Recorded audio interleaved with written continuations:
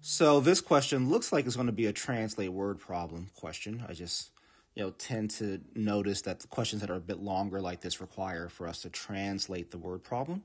This question says a small business owner budgets two thousand two hundred dollars to purchase candles. So I'm going to just write, you know, budget equals twenty two hundred dollars.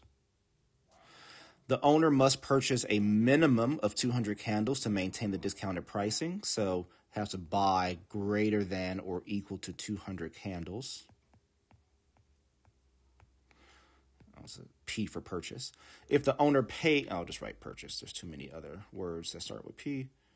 So if the owner pays $4.90 per candle to purchase small candles, okay, so 490 for small, $11.60 per candle to purchase large candles, so $11.60 for large candles. What is the maximum number of large candles the owner can purchase to stay within the budget and maintain the discounted pricing? All right, so a couple things are going on. We know that S plus L, small plus large candles, has to be greater than or equal to 200, right? Because that's what this means if we want to maintain discounted pricing, we have to buy at least 200. We don't know how many small or how many large, but in total, the number of small plus the number of large has to be greater than or equal to 200. We also know that for the cost here, we're paying $4.90 per small candle, plus we're paying $11.60 per large candle, and that we have to be less than or equal to our budget of $2,200. So in essence, we have a system of inequalities here.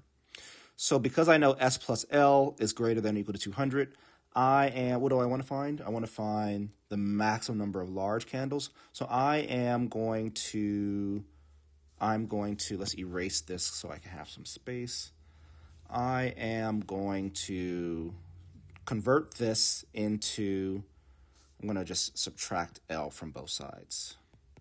So I'm going to have S is greater than or equal to 200 minus L. And in doing so, I can, I can take this S value, this 200 minus L, replace this S down here with 200 minus L. So I have 4.90 times 200 minus L plus 11.60 L is less than or equal to 2200. And now I have an inequality that only involves the variable L, which is what I want. I want to figure out large candles. So now I'm going to gra- grab my calculator and get to work. So what is 4.90 times 200? That's 980. So I have 9, oops, I wrote my 8 first, 980 minus 4.90L plus 11.60L is less than or equal to 2200. I have like terms here. So negative, so I'm just write 11.6 minus 4.9 is 6.7. So let's go up here for more space. 980 uh, plus 6.70L is less than or equal to 2200. Subtract 980 from both sides.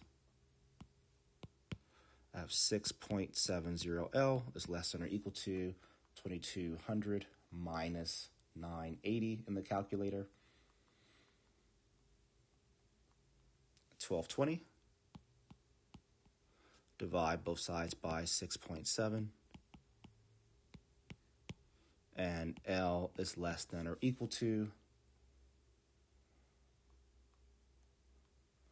182.1, let's call it.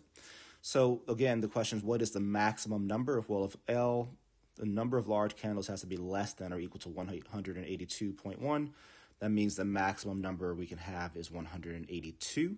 So that's our correct answer here. 182 candles is the least number or the largest number of large candles that we can purchase.